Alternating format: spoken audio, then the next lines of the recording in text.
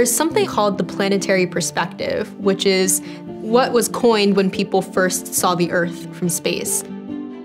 We need to realize how small we actually are. We're just one small pale blue dot in this vast universe of ours. There's really so much beyond just what's on Earth, and I think that's really what I'm trying to advocate for. There are already 1 million pieces of space debris in low Earth orbit we don't start to do something about this soon, it's only going to multiply. We're already on a polluted planet, and in our efforts to explore further, we're being trapped by another layer of pollution that we've created. SEER tracking is providing collisional predictions of space debris and satellites with the ultimate goal of creating a more sustainable space environment. Hi, my name is Amber Yang. I am 22 years old and I am the founder of SEER Tracking and also a student at Stanford University. I grew up in Orlando, Florida, near the Kennedy Space Center, so I would visit every single weekend when I was younger. Would rather go there than like Disney World. I just loved it and knew that this was something I wanted to pursue. Since the start of the human space program, people have been putting things up into space without really any consideration about, you know, what are the potential negative impacts there. All of the debris that's been up there since the start of the human space program is still up there. Space debris is any man-made part that can range from as small as a space fleck to as big as like a defunct satellite. What we saw in like the past 10 or 20 years was that um, things started to collide with each other. And what was happening was that when these two satellites were colliding, they were producing so many fragmented parts that would then potentially cause collisions with other objects. It's estimated that there's upwards of 1 million pieces of debris traveling at 17,500 miles per hour. 900,000 of those debris pieces are actually not trackable because they're between the size of one centimeter to 10 centimeters, so they're actually not detectable by radar system. There was actually a paint fleck that collided with an International Space Station window and completely damaged that window and it had to be replaced.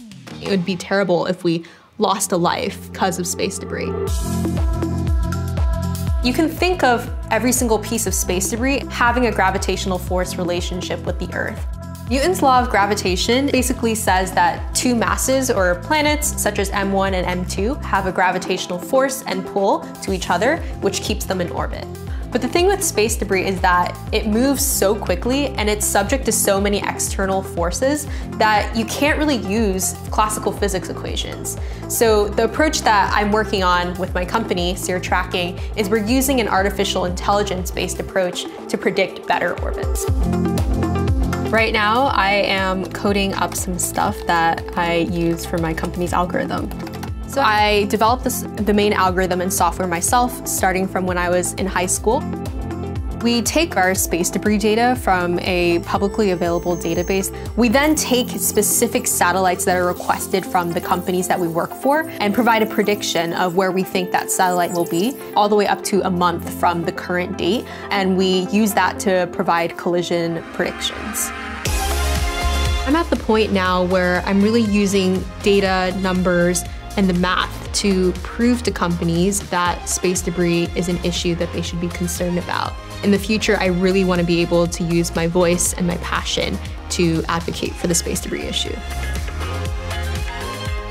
There's currently 1 million pieces of space debris in low Earth orbit. By the year 2060, that number will become 1.2 million pieces of space debris in low Earth orbit.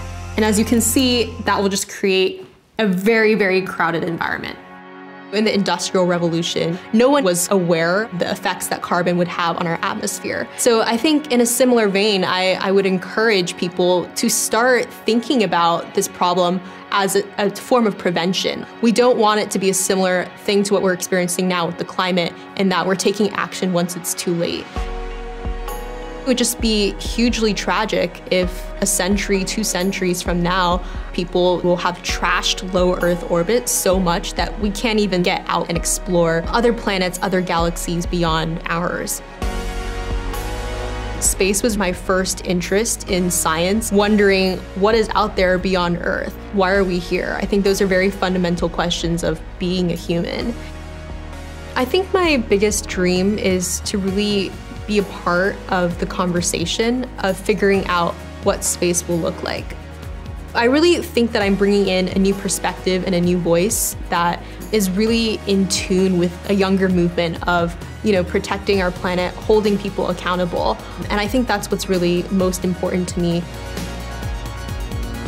People need to realize that we also live in space and we are just one planet out here in this large, beautiful universe of ours.